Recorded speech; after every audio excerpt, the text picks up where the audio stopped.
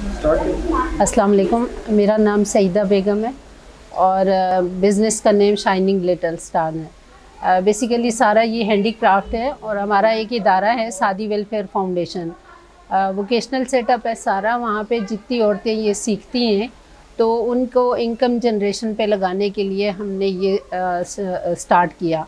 और ये सारे फ्रॉक्स और हर चीज़ जितनी भी हमारे स्टॉल में लगी हुई है, सब हैंडमेड है। तो ये उसमें हमारी स्पेशलिटी है स्मोकिंग वाले फ्रॉक्स गरारे और ये सब चीज़ें। और मैं चैम्बर की मेंबर हूँ तकरीबन छः साल से आ, या पाँच साल से और ये बिज़नेस मेरा छः साल से चल रहा है।